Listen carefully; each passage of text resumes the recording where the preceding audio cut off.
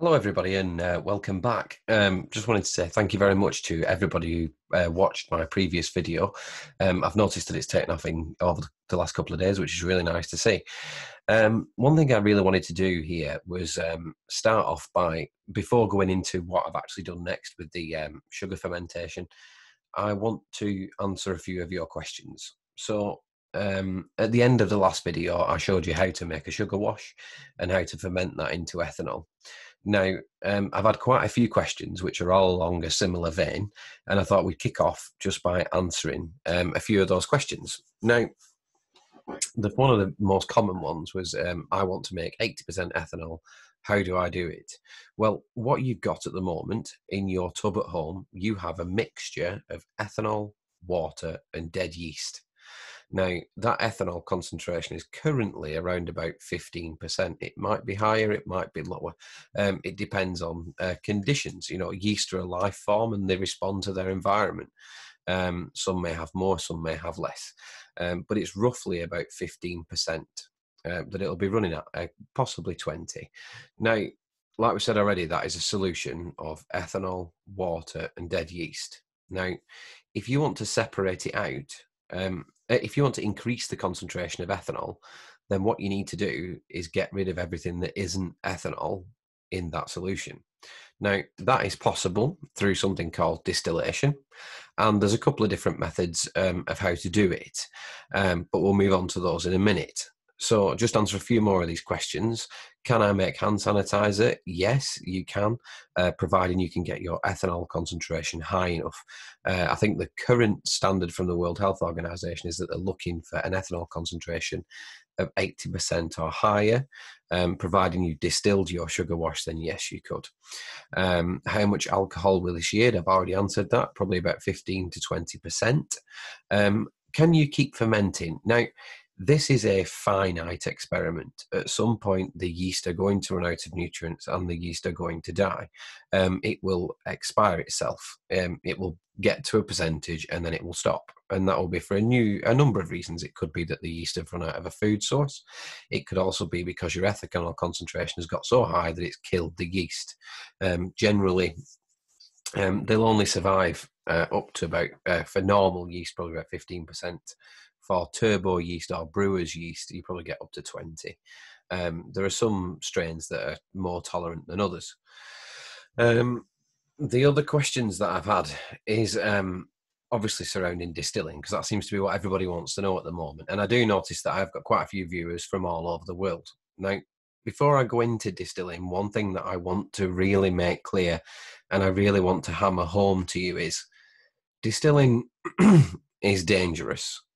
Um, it's not as dangerous if you're not going to drink what you produce. Um, one of the biggest problems, which you shouldn't find with a sugar wash, in all fairness, is that you could potentially produce methanol. Now, methanol is highly toxic, but you tend to get that produced when you use grains um, as opposed to sugar.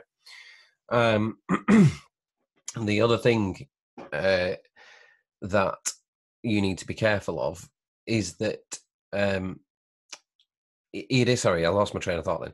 It is quite dangerous. It's uh, ethanol is volatile as you know um, it burns and when you distill ethanol you either have to evaporate it or freeze it. Now in evaporation there is a risk of you you are converting that ethanol into a gas.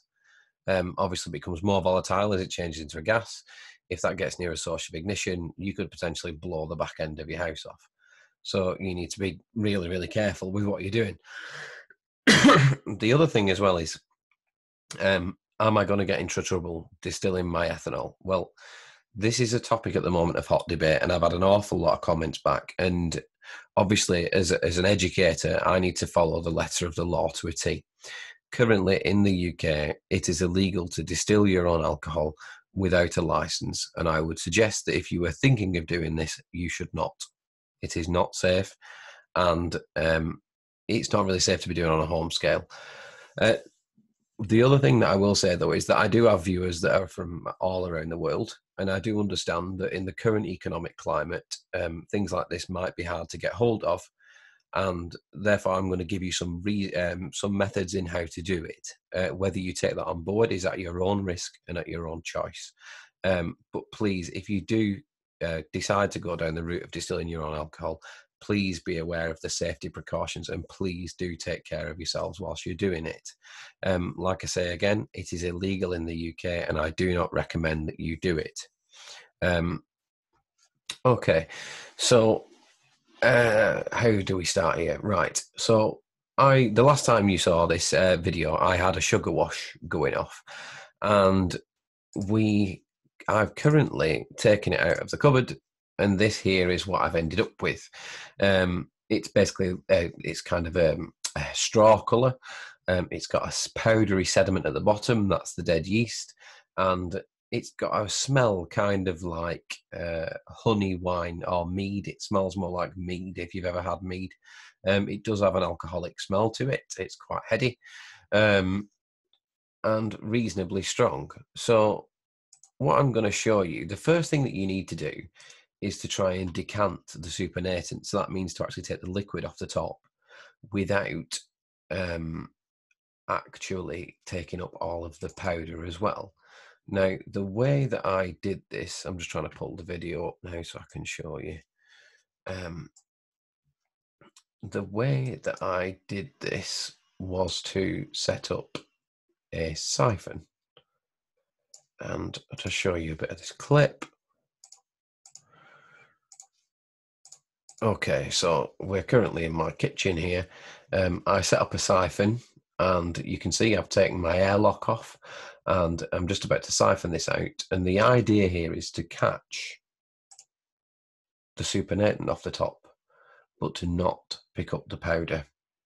Um, if you pick up this powder, it's just going to be a problem. The the easiest way to do it is to literally siphon it off.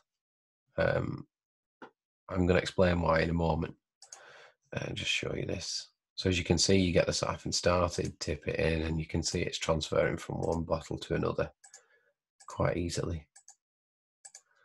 And you do that until you've decanted everything off. And then obviously you can see here, I've just decanted this out so you can see what it's like. This here is um, what was at the bottom separated out. Uh, these are your dead yeast. And obviously we want to try and remove as much as possible as that we can.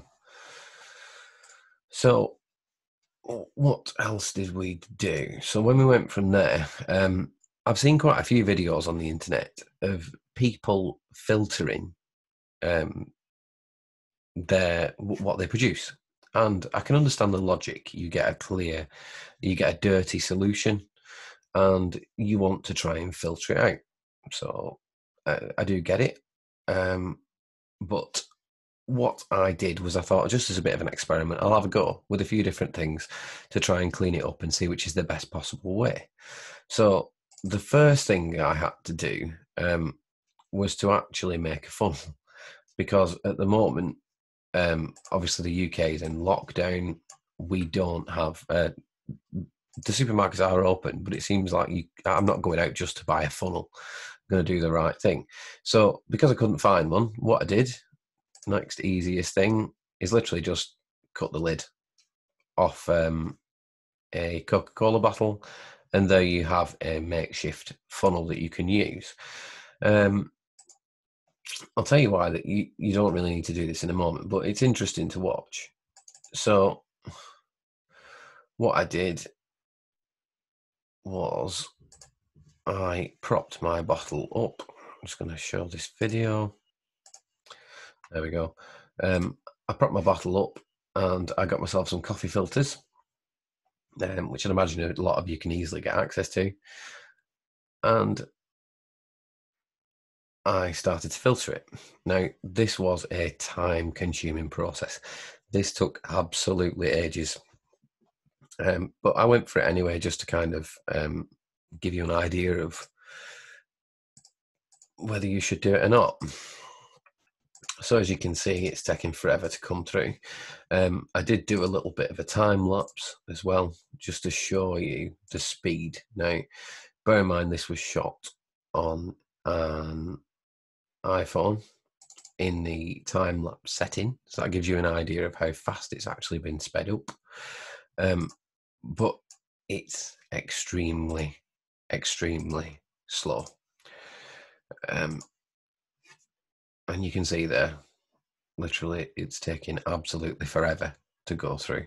And bear in mind, when we think we've got four litres, I'm making a brew in the background there, but we've got four litres of, ethanol, of um, ethanol and water to get through. It's just so time consuming. And the benefits aren't that great. And that got me into thinking, well, you know, what is the colour difference here? So, as you can see, there's a slight difference. We've got what was settled at the bottom, we've got um, what was actually in the tub, and then we've got the filtered stuff. Now, it's a slight, slight, slight difference, not perfect. And what's the reason for that? Well, the coffee filters that we used, um, or that I used, are 20 microns in size. The pore size is around about 20 microns. Now, as you can imagine, that is uh, yeast are very, very small, um, usually between 5 and 10 microns. So the yeast, believe it or not, are actually going to be able to pass through those pores. So, one thing that I did do was I had a go. I, luckily, I had kicking around the house. Now, you might not be able to get these where you are, but I had some kicking around the house. And these are um, what's called a syringe filter. Uh, they're used in laboratories. Um, SLS Scientific sent me some um, just as a trial when I was working on a job ages ago. Um, but they're five microns in size. So I thought I would give them a go. Now, you can see you press, basically press through, and the filter um, filters, uh, it comes out of the filter. The problem with this is that these filters bind up quite easily. Um, they get clogged, and it's very, very hard to press the solution through.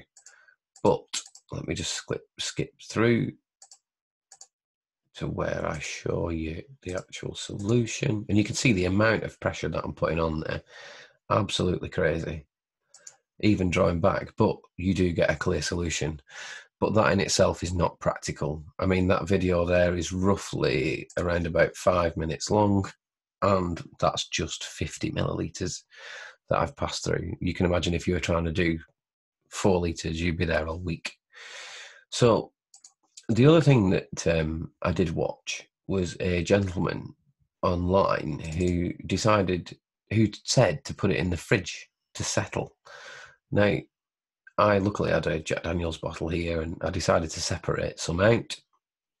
So I topped this off with uh, the same mix and left that to settle in a closed refrigerator for uh, 24 hours. And unfortunately, it didn't do much. It didn't settle out. So there you go, 24 hours later. Give you a show at this. So there you go. I mean, that gives you a bit of an idea of what you're looking at. I mean, there is some settling there. Um, but I'd imagine I probably need to leave it a lot longer. But I know people were getting quite antsy in the comments wanting to see this video, so that's why I'm I'm showing you now. Okay, so I mean that's all about filtering. Now, that's not necessarily the um, the best way to. Yeah, it, it's it's one of them.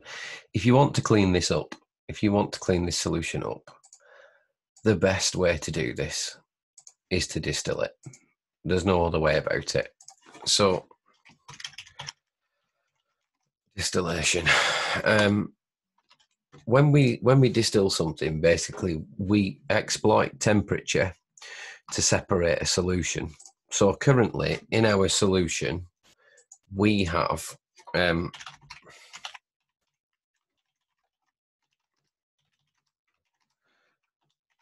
ethanol and water. They are the two things that we want to separate out. So there's a couple of ways we can do this. First of all, we go with the dangerous option first. Um, we look at the boiling point.